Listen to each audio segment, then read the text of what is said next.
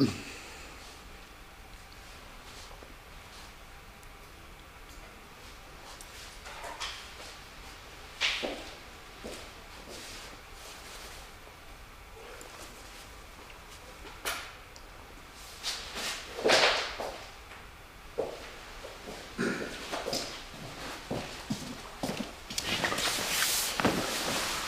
Sven Reinhardt, grüße dich.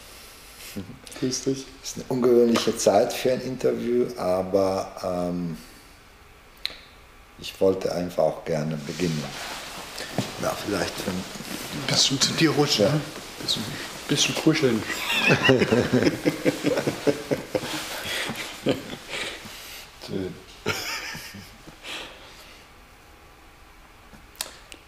okay. Ähm, meine erste Frage ist, ähm, also es geht heute um Stiftung, Stiftungswesen, überhaupt der Grundgedanke der Stiftung. Und meine erste Frage ist, viele Menschen arbeiten einfach auch umsonst, weil am Ende des Monats nichts kommt. Mhm. Und also nach meiner Information, viele Menschen arbeiten eigentlich ehrenamtlich. Mhm. Und äh, viele Menschen arbeiten ähm, für die Gemeinschaft, zum Beispiel alle Menschen, die in diese neue Gesundheit oder in diese neue ähm, Ökologie, in diese neue Informationssysteme, das sind alle Menschen, die etwas für die Gemeinschaft gut tut. Ne? Mhm ihm. Ähm, als Beispiel, äh, ähm, viele Wissenschaften entwickeln sich nicht äh, für das Wesentliche, im Gesundheitsbereich zum Beispiel, mhm. weil da wird immer nur nach, ähm, ähm nach der, nicht nach der Ursache geschaut und tausende, tausende von Menschen arbeiten und forschen die Ursache und das sollte eigentlich mit Geldern der Gemeinschaft gemacht werden. Mhm. Und in diesem Sinne, die erste Frage, es gibt ganz viele Leute, die für die Gemeinschaft arbeiten. Mhm. Wie siehst du das? Ja, klar gibt es die. Ja, du fragtest, was, was ist der Sinn von Stiftung? Nee, einfach, das ist, äh, also worauf ich hin will, mhm. ist, äh, danach wollte ich gerne in die Stiftung gehen. Ja. Was auch Sinn der Stiftung ist, ist einfach, dass es etwas, äh, wo alle dazu beitragen ja. für das Wohl von allen. Und schon ja. viele Leute arbeiten in die Richtung, aber die sind nicht in einer Stiftung. Das war meine erste Frage. Ja, das ist richtig. Also was die... So wie GTV zum Beispiel. Hm. also die, die Menschen, die sich für das Gemeinwohl einsetzen, und es gibt ja nicht, es gibt ja nicht bloß Stiftungen, es gibt ja Vereine. Also es, die meisten Menschen, die sich fürs Gemeinwohl einsetzen, arbeiten in Vereinen. Und meines Wissens ist es in der Bundesrepublik so, dass diese, diese gemeinnützige Arbeit durchaus schon bezahlt wird. Also die Vereine, auch die Stiftungen, haben in der Regel Möglichkeiten, Fördergelder zu beantragen. So, und äh, aus diesen Projekten, die dann finanziert werden, auch über EU-Projekte, werden dann die Mitarbeiter bezahlt. So, und die vollbringen dann eine bezahlte gemeinnützige Arbeit. So, und es gibt aber auch die Menschen, die jetzt einfach nach Feierabend oder vielleicht haben sie gar keine Arbeit, einfach sich dem Gemeinwohl hingeben, auf unterschiedlichste Weise. Und ja keine, keine Bezahlung dafür kriegen. Das gibt es wohl auch. Aber das ist, denke ich mal, in Deutschland nicht die verbreitete Art. Mhm. Ja, aber es gibt eben viele Organisationen und Praxen, die immer am Limit leben. Ja. So wie einfach auch äh, eben TV, so wie viele, die einfach ähm, so Weltenwandel. Ja. Also es gibt ganz viele Organisationen, die doch den ganzen Tag für die Gemeinschaft arbeiten und dies einfach auch nicht erkennen, dass es so ist. Ja. Und äh, die einfach vielleicht noch äh, Steuer zahlen oder die vielleicht noch ähm, nichts von der Gemeinschaft bekommen, die, die, die aber eben wie Welt im Wandel, viel, viel Zeit einfach auch verbringen, ja. um neue Perspektiven aufzubauen, die einfach nicht verbunden sind mit dieser ganzen Institution, EU, Fördergelder, äh, mhm. Hartz IV und so weiter. Ne? Und äh, jetzt für mich ist einfach, welche Möglichkeiten haben diese einzelnen Menschen und Organisationen mit einer Stiftung? Wenn Sie zum Beispiel selbst eine Stiftung zu gründen, das ist schwierig und das können wenige oder so einfach ist doch nicht. Und gemeinsam eine Stiftung zu gründen wäre ein Vorteil, ähm, einfach weil es so ist, dass Sie wie eine Stiftung arbeiten. Also eine Stiftung gründen ist nicht schwer. Es ist, es ist nicht schwer, eine Stiftung zu gründen, aber mit der Gründung einer Stiftung ist das Problem noch nicht aus der Welt. Die Stiftung braucht ja auch Geld. Mhm. So, und jetzt ist eben die Frage, wie wird diese Stiftung mit Finanzen gefüllt? So, und da gibt es verschiedene Möglichkeiten. Es gibt die Möglichkeit der Zustiftung und es gibt die Möglichkeit der Spenden mhm. und es gibt die Möglichkeit der Zweckbetriebe. Das sind drei Möglichkeiten. Zweckbetriebe ist, also, oder die Form der Zweckbetriebe ist eine, eine sehr gute Möglichkeit, Geld zu, äh, zu, generieren für die Stiftung, weil die Zweckbetriebe eigentlich alles machen können. Und das ist, das, ja, das ist der Aufhänger, weil viele, äh, viele sehen diese Chance gar nicht. Die, die gehen arbeiten, bezahlen dann noch Steuern, wie du schon sagtest, ne, und dann nachmittags gehen sie, gehen sie gemeinnützig irgendwie arbeiten. Ja. Äh, du kannst aber auch deine, deine selbstständige Arbeit, wenn du selbstständig tätig bist, kannst du auch in diese Stiftung als Zweckbetrieb einbringen. Mhm. Und in dem Moment fließen all deine Einnahmen in die Stiftung. Mhm. Und wenn das alle machen, die in der Stiftung sich engagieren wollen, dann ist in der Stiftung Geld da mhm. und das wird dann wieder äh, für die gemeinnützigen Zwecke verwendet, um das zu finanzieren. Die andere Möglichkeit ist Spenden, das weiß ja jeder. Aber Spenden und, und Zustiftungen, das bedarf im Prinzip äh, Menschen, die, die sich mit, mit dem Stiftungszweck, mit dem Stiftungsgedanken identifizieren und die dann sagen, wow, das will ich fördern und dann das Geld geben. Aber ich sehe mehr grundsätzlich, also nicht Spenden, weil das ist für mich eine utopische Welt. Ja. Ähm, es muss immer einen Zweck haben. Ne? Ja. Für mich geht es darum, wenn wir jetzt zum Beispiel fünf Praxen, die sowieso irgendeine Forschung machen, ja. ne? nehmen wir an äh, Weltmann, nehmen wir an GTV, nehmen wir an das, was wir jetzt in unserem Umfeld kennen, äh, Familienstellen von dieser Organisation. Ne? Wenn die sich zusammentun und die sagen, okay, wir wollen jetzt äh, unsere Betriebe, wo sowieso was reinkommt, äh, in die Stiftung alles reingeben. Ja. Und, äh, aber natürlich wollen wir wissen, ja, kann ich mir dann das, was ich verbraucht habe, kaufen, die Patronen und die Miete zahlen und wie wird das Ganze reguliert, wenn mhm. drei, vier, fünf Zweckbetriebe da mit drin sind und alles über die Stiftung laufen lassen. Ja, es geht in der Form nur über Zweckbetriebe, also rechtlich. Und ja, im Prinzip äh, ist es so, dass die Stiftung, vielleicht schon vom Ur, äh, Urgrund angefangen, die Stiftung ist ein Unternehmen. Und der, der, äh, der Sinn dieses Unternehmens ist, Geld zu generieren, was dann dem Stiftungszweck zugeführt wird. Dabei ist es nahezu unerheblich, wie dieses Geld generiert wird. So, also kann nahezu jeder Betrieb Zweckbetrieb werden. Aber mit diesem, mit diesem Zweckbetrieb, das hat Konsequenzen, weil du bist dann nicht mehr vollkommen selbstständig. Ne? Du bist dann nicht mehr der Unternehmer in dem Sinne, sondern du trittst quasi deine, deine Unternehmerrechte an diese Stiftung ab. Mhm. So, und die Stiftung äh, muss natürlich jetzt zusehen, das Geld kommt rein in den Zweckbetrieb und die Stiftung muss jetzt zusehen, dass natürlich die, die laufenden Kosten gedeckt werden können. Mhm. Ja, also wenn du jetzt Druckerpatronen ansprichst, natürlich müssen die bezahlt werden. Wenn Miete anfällt, natürlich muss die bezahlt werden.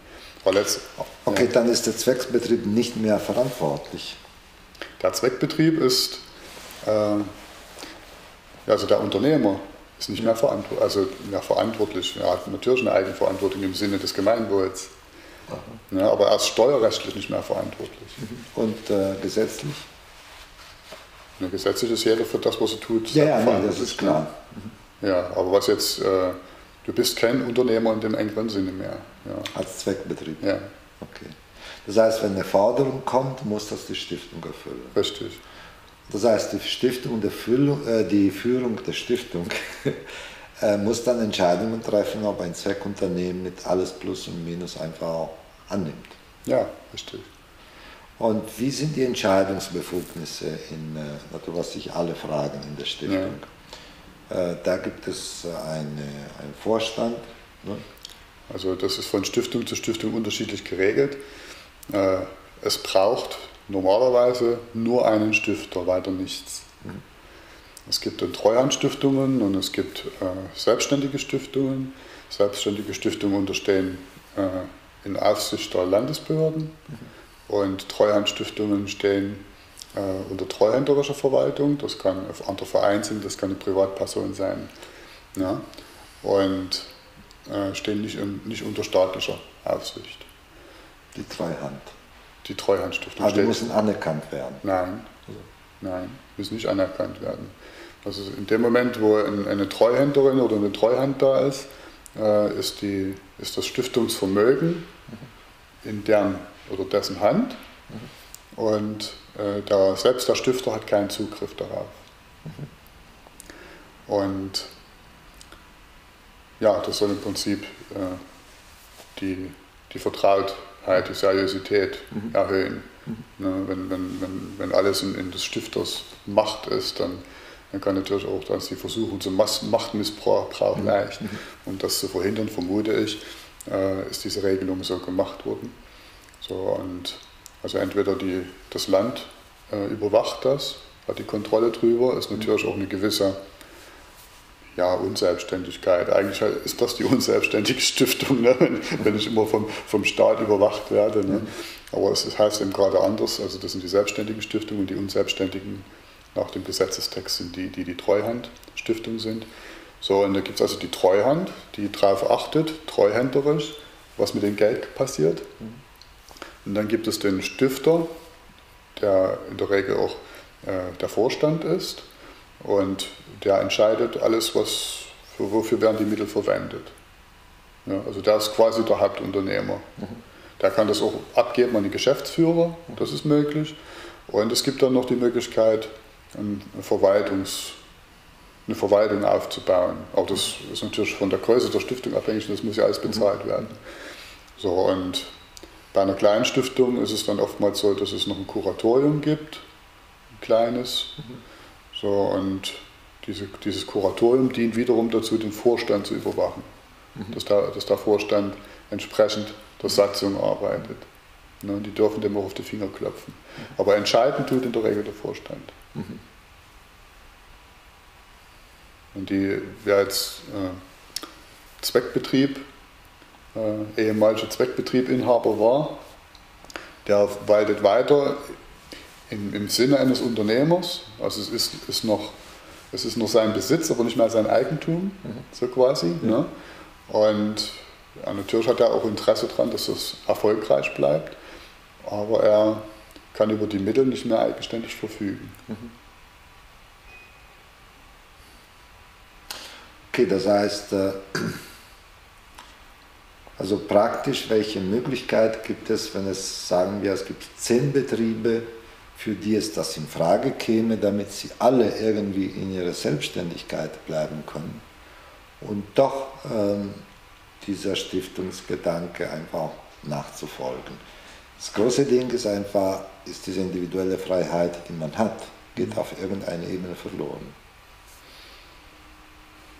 Ja, wenn du die individuelle Freiheit in Bezug auf die Finanzen meinst, ja. Entscheidungen überhaupt. Ne? Du kannst genau. weiterhin unternehmerische Entscheidungen treffen, die als Zweckbetrieb, Betreiber, wenn du so willst, äh, die, die das Unternehmen weiter voranbringen. Es geht darum, Geld zu generieren. Also das ja, ist ja. letztendlich, das ist das in einer Stiftung. Ja. So, aber nicht um Profite zu machen und Gewinne zu machen, sondern um aus diesem Geld, was dann Überschüsse sind, äh, das, die, das Gemeinwohl zu fördern, also den Zweck, der ja auch gemeinnützig bescheidet ist, zu fördern. Mhm. Und das ist jetzt zum Beispiel bei einer Stiftung in der Regel Bildungsarbeit. Mhm. Ja. oder irgendwelche Bauwerke fördern oder je nachdem, was der, was der Zweck, mhm. Denkmalpflege oder was es da alles so gibt. Ja.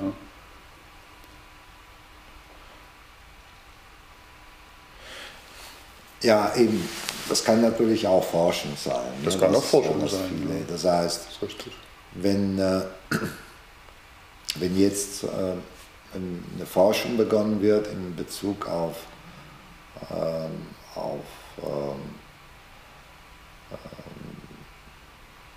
Bewegung, mhm. ne? Bewegung als Gesundheitsprinzip, mhm. dann äh, können einige Praxen mit Yoga, mit ähm, Feldenkreis oder mit alles, was es einfach auch gibt, sich zusammentun mhm. und das einfach auch fördern. Aber das heißt, die ganzen Mieten, alles was gebraucht wird, muss immer genehmigt werden von, äh, vom Vorstand. Ja, das genehmigt. Also wenn, das, wenn der Zweckbetrieb äh, Teil der Stiftung wird, wird quasi geprüft, was, ist, was entstehen an Kosten, mhm. was kommt rein. Also letztendlich muss, der, muss die Stiftung ebenfalls wirtschaftlich arbeiten.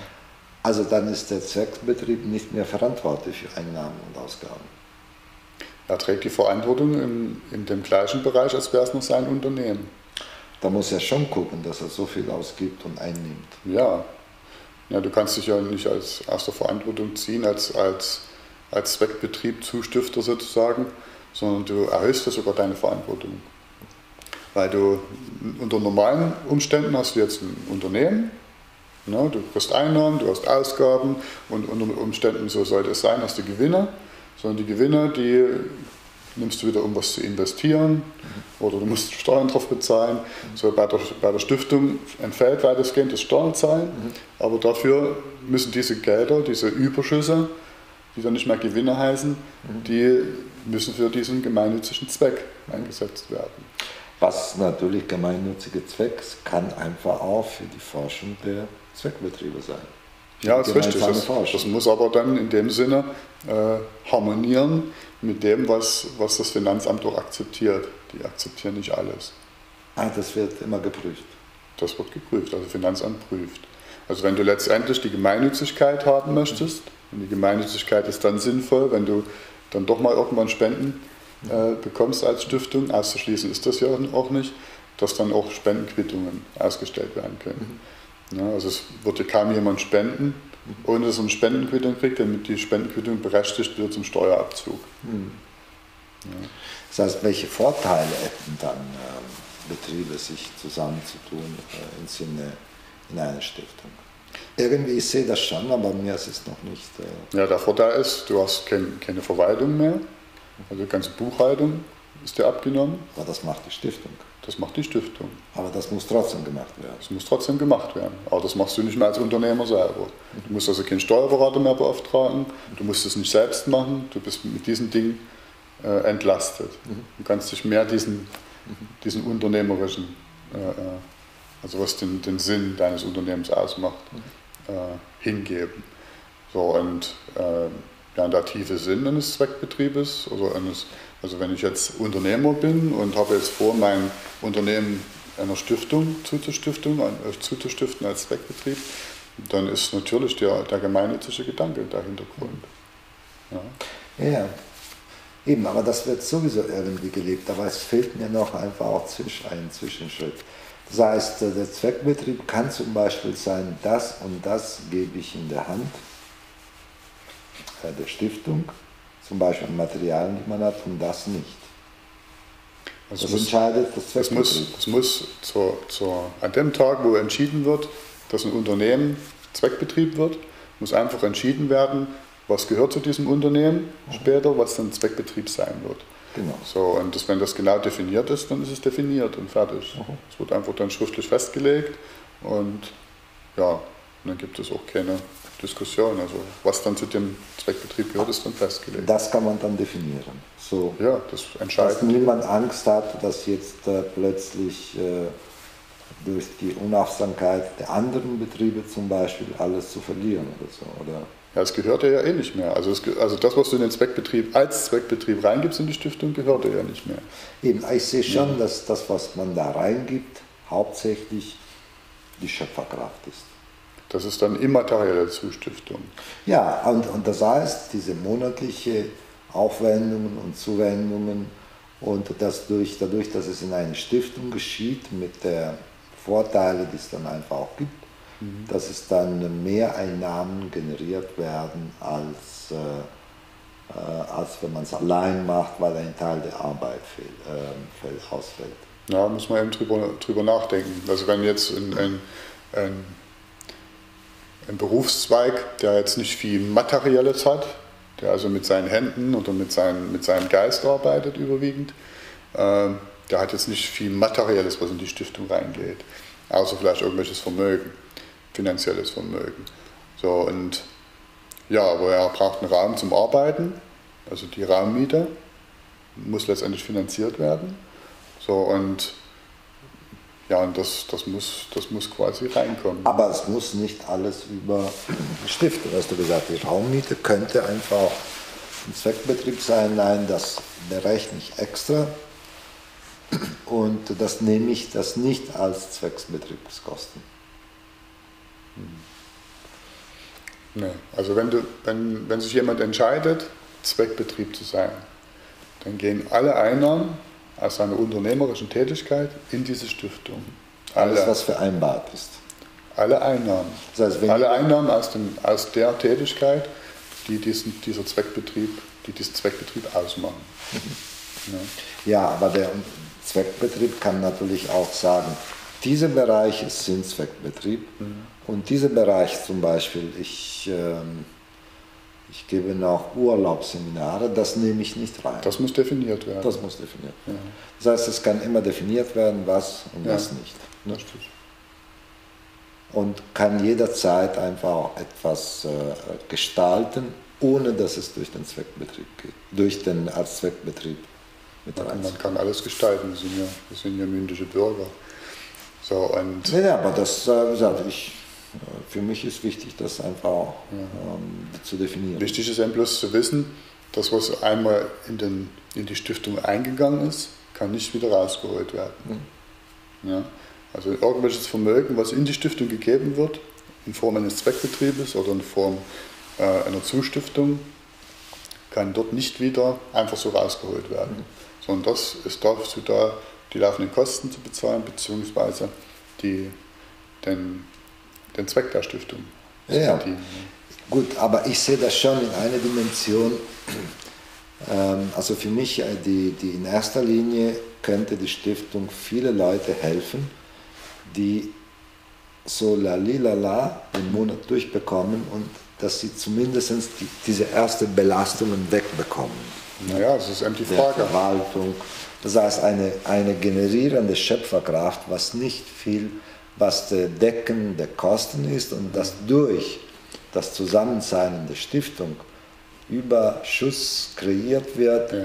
was man nicht kreiert hätte, wenn man es allein rumgewurschtelt hätte. Nehmen wir an zum Beispiel, wenn wir sagen zehn Betriebe und die Stiftung kümmert sich um eine gemeinsame Webseite zum Beispiel. Zum Beispiel. Muss ja nicht zehn Webseiten Das ist sein. richtig. Muss nicht zehn Steuerberater oder diese Sache. Das wird einfach auch gespart. Genau. Muss nicht, äh, also die Stiftung könnte einfach sich darum kümmern äh, für Sachen. Das heißt, für mich, ähm, ich sehe das nicht jetzt in der Form, dass jeder hier, ich gebe Millionen in die Stiftung, das kriege ich nicht mehr zurück, sondern als Schöpferkraft, ja. dass eine bestimmte Sache durch das Zusammensein so viel gespart wird, dass jeder zufriedener ist, mehr Freizeit hat und doch ähm, auch etwas überfließt. Ja. Ein Teil für den Menschen, der das macht, und ein Teil auch für die Stiftung und für die Zwecke der Stiftung. Ja, das ist denkbar. Mhm.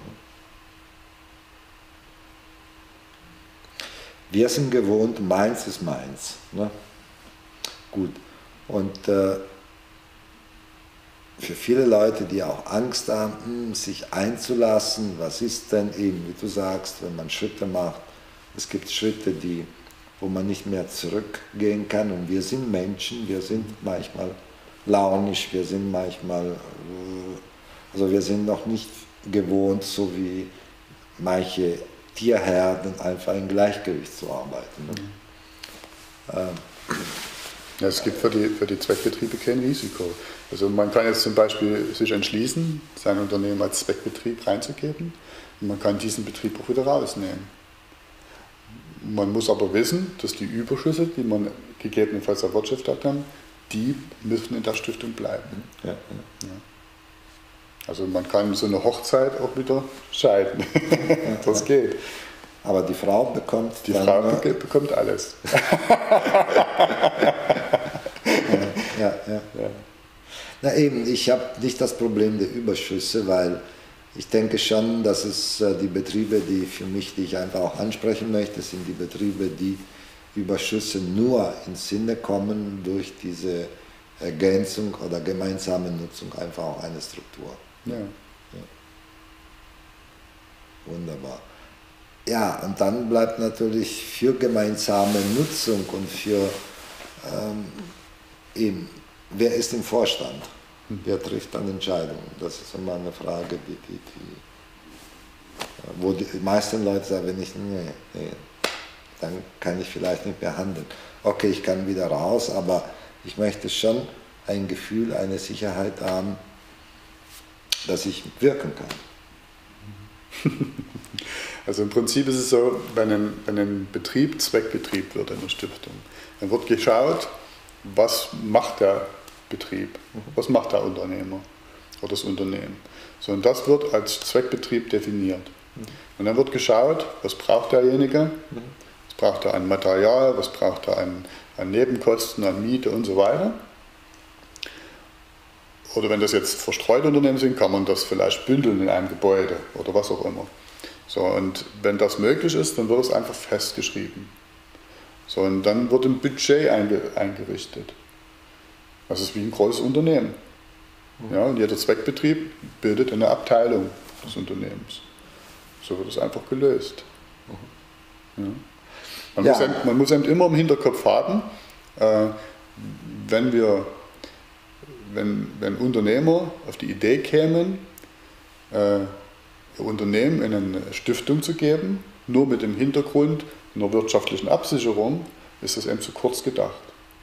Der Sinn einer Stiftung ist, gemeinnützig tätig zu werden, Überschüsse zu produzieren.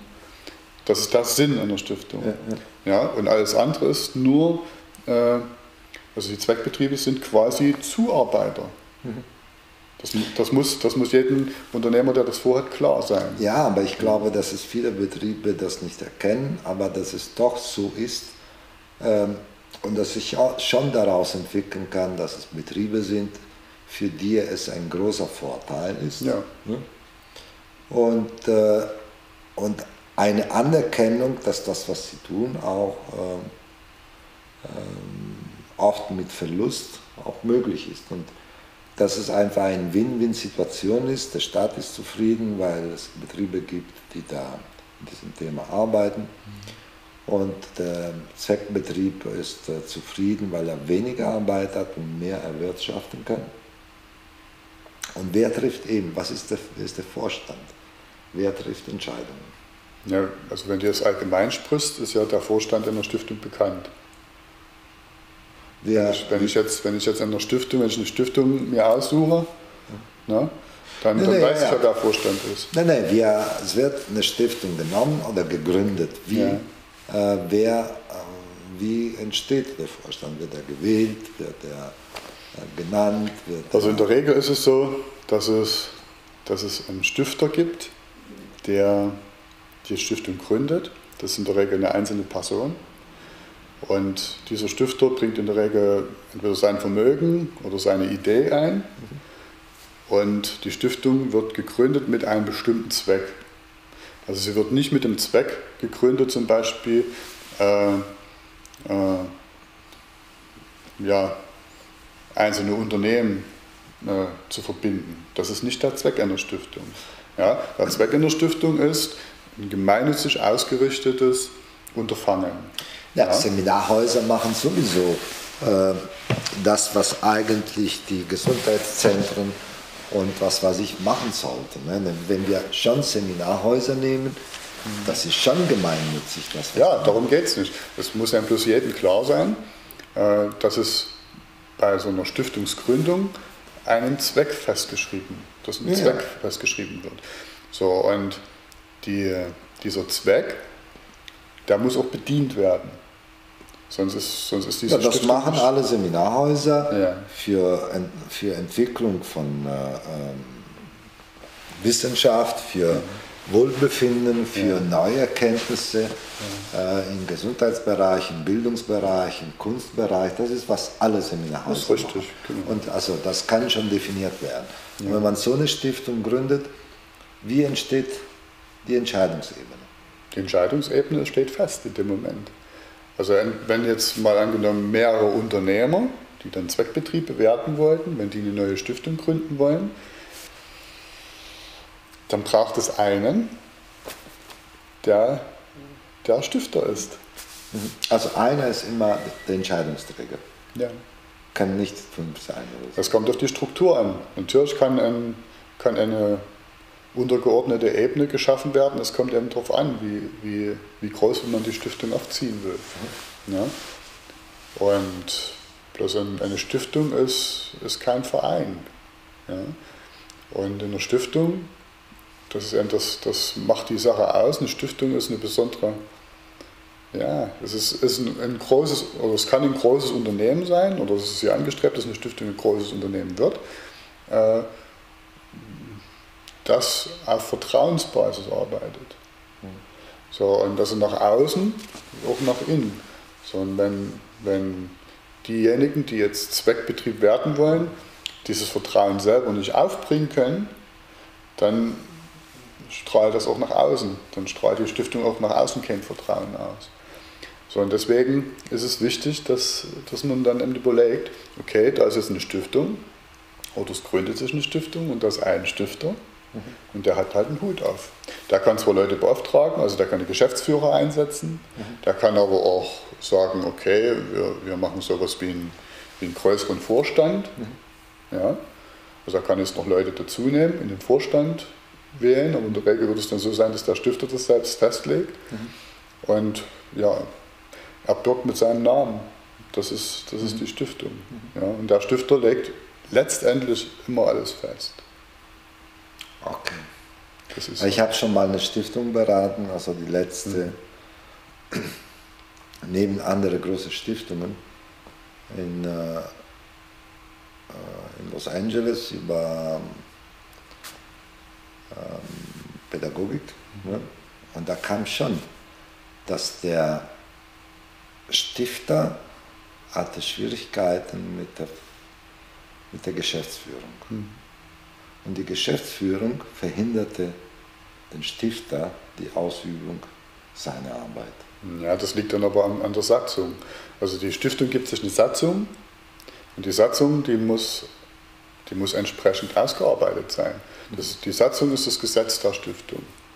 Das ist auch der riesengroße Vorteil einer Stiftung. Eine Stiftung kann sich nahezu jedes Gesetz geben, jede Satzung geben. Die kann auch weitestgehend von, von anderen Rechtssituationen abweichen.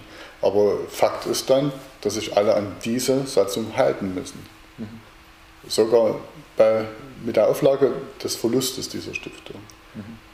Da wird genau darauf geachtet.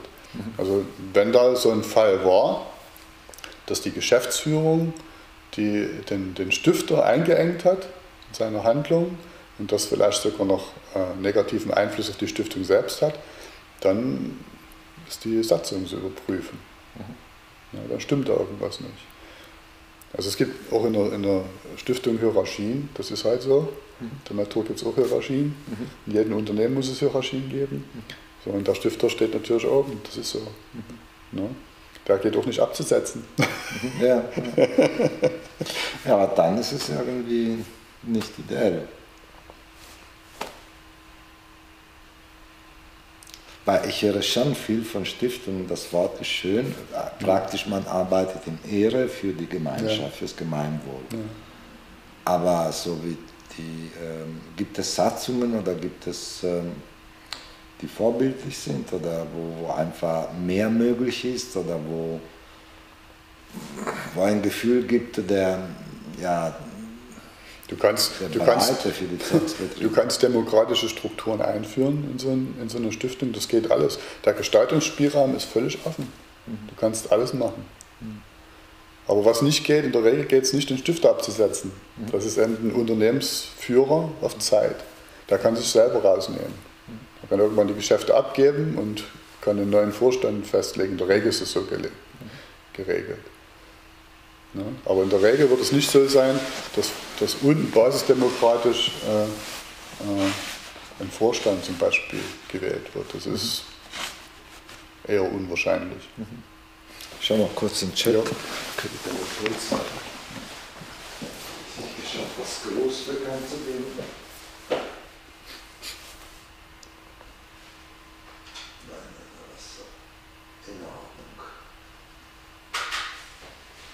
Wir werden jetzt noch nicht so viele Zuschauer haben. Ne? In dieser Zeit werden wir jetzt noch nicht so viele Zuschauer haben. Ja, so schon, äh, Sind ein paar drin, ja? Okay. Also viele schauen schon im, im TV-Programm, ja. aber eben normalerweise schauen sie ab 8 oder 9. Ne? Ja, genau. ja, also im Prinzip ist es so, die Stiftung basiert vollkommen auf Vertrauen. Mhm. Und, und wer jetzt dieses Vertrauen nicht hat, da sollte er sich überlegen, ob er, ob er Bestandteil einer Stiftung werden kann. Naja, was ist Vertrauen? Ich meine, ja, Vertrauen Im Grunde genommen, es gibt tausende von Gemeinschaften, die das einfach auch tun. Mhm. Und dann funktioniert ein Jahr, zwei Jahre oder drei Tage, die Leute mhm. gehen raus, gehen rein. So eine Harmonie, eine Vertrauensbasis mhm. kenne ich nicht, wo es die mhm. gibt. Eine Zeit lang in bestimmte Kontexte. Aber in dynamischen Strukturen, wo einfach auch Veränderung sein soll, mhm. ist Vertrauen ein. Ähm, ähm also Veränderung kann es geben, auch mit Vertrauen. Ja, nee, klar, möglich man, man Kann, man kann auch wieder auseinandergehen auch mit Vertrauen. Das ist ganz einfach so, jeder hat Vorstellungen Ne? Und wenn die Vorstellungen sich decken, dann, dann macht man die Dinge zusammen. Wenn dann nach zehn Jahren oder nach einer bestimmten Zeit man feststellt, man entwickelt sich unterschiedlich, dann geht man halt wieder auseinander. Das ist doch, wo ist das Problem? Das hat doch mit fehlendem Vertrauen nichts zu tun. Das heißt, es ist wie wenn man, äh, so wie man das gemacht hat, man hat viele Dörfer gegründet, mhm. wo man immer wechseln kann, von Haus zu Haus, immer mhm. wenn etwas nicht ist. Also für mich ich kenne das, manchmal passt und manchmal passt nicht. Ne? Und das muss nicht immer aufwendig sein und anstrengend sein, einfach zu wechseln mit viel mhm. Aufwand und so weiter. Weil dann, äh, ähm, das heißt, es wäre vielleicht ein Pool von verschiedenen Stiftungen, man wo kann, man hier, man und da, ja. hier und da man sein könnte. Ne? Das ist richtig. Aber jedes Mal, wenn du eine Stiftung gründest, oder jedes Mal, wenn die Menschen eine Stiftung gründen, besteht immer wieder diese, diese gleiche Grundfrage, die du jetzt gerade gestellt hast. Ja? Wer macht den Stifter? Wer, wo ist die Vertrauensbasis? Jedes Mal stellt sich diese Frage. Deswegen, ich denke, ist es die, die richtige Herangehensweise oder die förderliche Herangehensweise ist einfach eine andere. Einfach zu sagen, okay, eine Stiftung, es gibt einen Stifter, es gibt einen, einen Stiftergedanken, das der hängt unmittelbar mit dieser Stiftung und mit diesem Stifter zusammen. So, und dieser Gedanke soll verfolgt werden. Und dieser ist gemeinnützig ausgerichtet. Ob der als gemeinnützig bescheidet wird oder nicht, spielt dabei keine Rolle. Ne? So, und dieser Gedanke ist Gesetz. Mhm. So, und jetzt gelten in dieser Stiftung die Gesetze, mhm. die der Stifter auferlegt. Natürlich kann das sich auch Berater nehmen, das ist eine ganz andere Sache. Aber wenn, die, wenn das Gesetz, ein, Gesetz einmal steht, steht das. Mhm. Und das kann sogar bei, bei selbstständigen Stiftungen nie wieder geändert werden. Mhm. Ah, okay. Ja? So, und das würde zur Verlust der, zum Verlust der Stiftung führen. Mhm. So, bei nicht selbstständigen Stiftungen kann man das ändern. So, und das ist bloß die Frage, wie oft macht man das? Man verliert dann nach außen das Vertrauen. Mhm. Ja? So, und jetzt kommt jemand dazu und sagt, wow, dieses, dieses Unterfangen will ich unterstützen. Mhm. Alle meine Überschüsse, die sollen diesen gemeinnützigen Zweck dienen. Mhm. Und ansonsten arbeite ich wie bisher, ich mache ganz normal meine Arbeit. Ja? Und wenn alles sauber und bei der Hochzeit alles sauber geklärt wurde, mhm. was Einnahmen, Ausgaben betrifft mhm. und das Unternehmen stabil ist, dann gibt es doch keinen Streit. Mhm. Ja? Dann ist doch jeder daran interessiert, dass, dass das das ursprüngliche Anliegen, das Gemeinwohl zu fördern und unter Einbringung des, des eigenen Unternehmens mhm. als Motor sozusagen, als Finanzmotor, äh, letztendlich funktioniert. Mhm.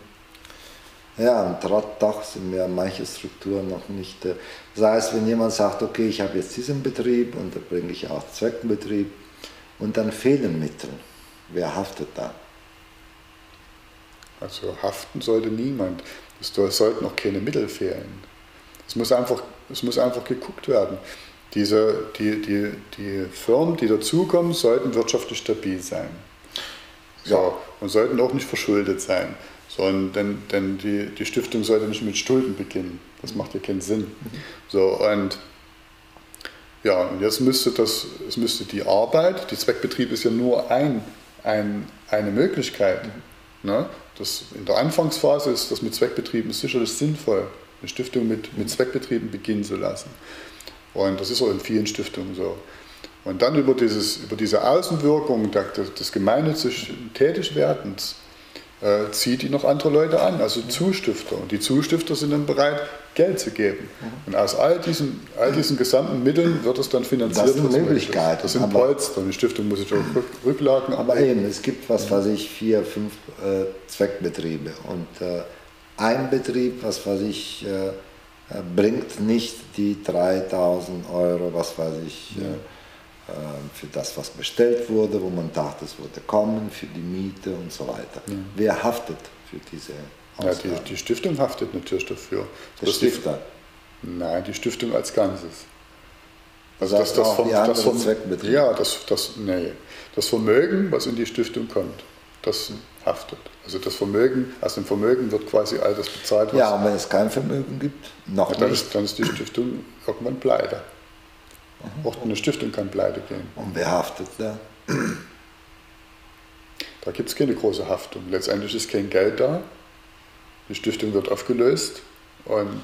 Ja, und wenn man zum Beispiel der Vermieter, wem richtet er dann die, ähm, seine Forderungen? Das ist eine Körperschaft und dieser Zustand sollte niemals eintreten. Ja, was kann eintreten? Kann eigentlich nicht passieren kann nicht passieren, wenn, wenn vernünftig von vornherein immer darauf ja, geachtet wird, dass alles wirtschaftlich ist. Ja, in der Welt gibt es vieles. Dann muss rechtzeitig reagiert werden. Ja, dann muss eben geguckt werden, muss ein Notprogramm aufgestellt werden, müssen zusätzliche Dinge generiert werden, die, die wieder Geld reinbringen in die Stiftung. Es muss Werbung gemacht werden, es ja, müssen Benefizveranstaltungen gemacht Aber werden oder was Es gibt immer. eine Klarheit in den Strukturen. Ja. Und zwar in den normalen Strukturen ist so und so und so. Mhm. Und wie unterscheidet sich dann einfach die Stiftung? Überhaupt nicht. nicht.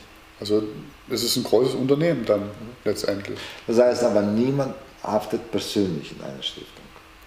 Das wenn, er, wenn er nichts Kriminelles macht, nichts ja, das macht, klar, ja. das ist klar. Okay. Nee, persönlich haftet niemand. Es, das sei, heißt, es sei denn, innerhalb der Stiftung ist etwas festgelegt eingehend. Okay. Das kann ja festgelegt werden. Das heißt, wenn man eine Stiftung macht für gemeinnützige Sachen, ähm, ja, liefern dann die Leute Material an eine Stiftung. Was meinst wenn du sie sehen, wenn sie wissen, dass es da auch äh, eine Nicht-Haftbarkeit ist.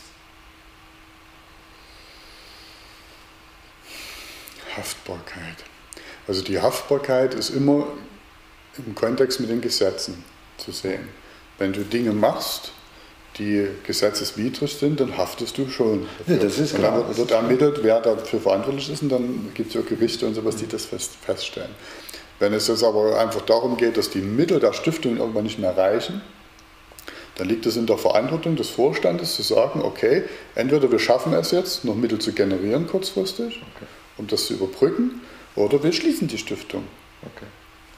So einfach. Und das liegt in der Verantwortung des Vorstandes. Und wenn der, wenn der eine, also eine Stiftung geht in den Konkurs und wenn es eine Konkursverschleppung gibt und der Vorstand ist dafür verantwortlich, dann haftet natürlich der Vorstand. Das ist ja auch eine kriminelle Handlung. Ja, wenn, wenn du merkst, ein Unternehmen ist im Konkurs, dann hast du Konkurs anzumelden. Mhm.